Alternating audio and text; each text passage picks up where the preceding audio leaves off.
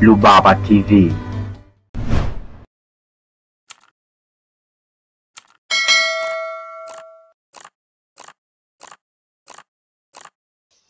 Karibu mpenzi mtazamaji wa Rubaba TV. Hiki ni kipindi chetu cha Shamba Darasa ambapo tunazungumzia mada mbalimbali kuhusiana na kilimo na ufugaji. Katika kipindi cha leo nimekuandalia mada moja nzuri sana ambayo utaipenda bila shaka, na itakuwa mahususi sana kwa wa- kwa wakulima wa mahindi. Tutazungumzia process nzima kuanzia maandalizi ya shamba hadi kuvuna.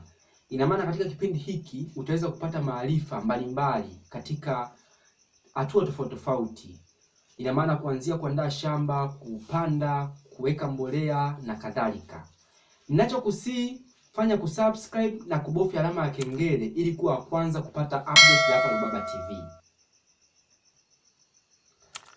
Hii ni episode ya kwanza na mada kuu katika episode hii tutakuwa tukizungumzia maandalizi ya shamba na maana katika hiki kipindi cha leo tutazungumzia mambo muhimu ambayo unatakiwa kuyafahamu pale unapotaka kuandaa shamba au unapofanya maandalizi ya shamba.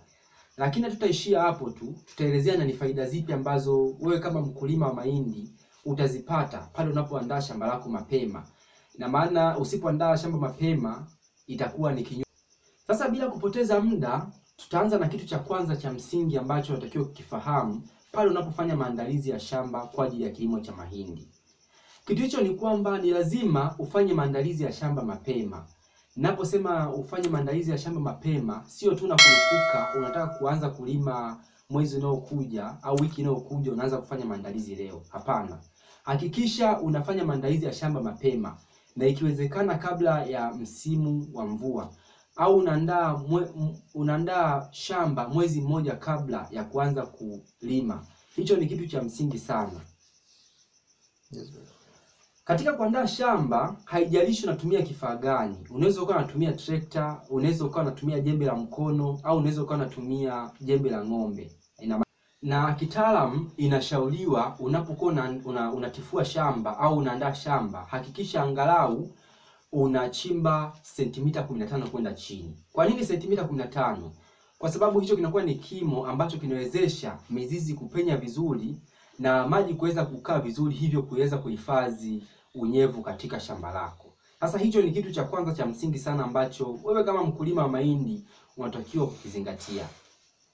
Sasa wakati wa kuandaa shamba kwa maeneo ambayo yana tabia ya kutuamisha maji, hakikisha unaweka matuta. Na maanisha ukiweka matuta, hiyo inapunguza sana athari za kutuamisha maji. Hicho ni kitu cha msingi.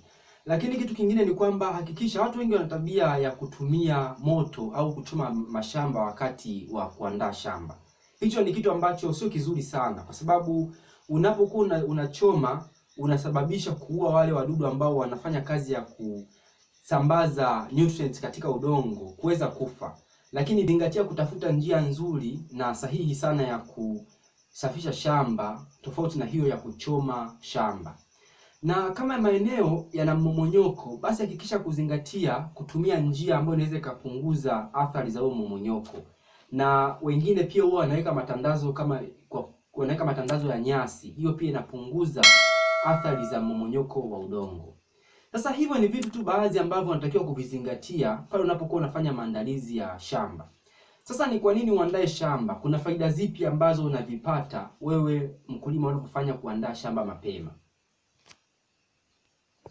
Faida ya kwanza, unapoandaa shamba mapema inapunguza uwezekano wa kupatikana magugu katika shamba lako.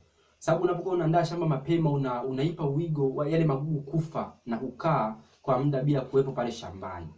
Lakini pia unapokuwa umeandaa shamba mapema pia ina, ina, ina, inaipa muda hayo magugu au uchafu wote uliokuwa umezikwa pale katika shamba uweza kuoza. Ni tofauti umechelewa kuandaa shamba kwa muda mfupi tu umesafisha shamba then umeanza kupanda, bado kuna kuna uchafu haujaoza. Kwa hiyo unapokuwa umeoza, unapokuwa umeandaa shamba mapema, inaoza na hivyo kuongeza rutuba katika shamba lako.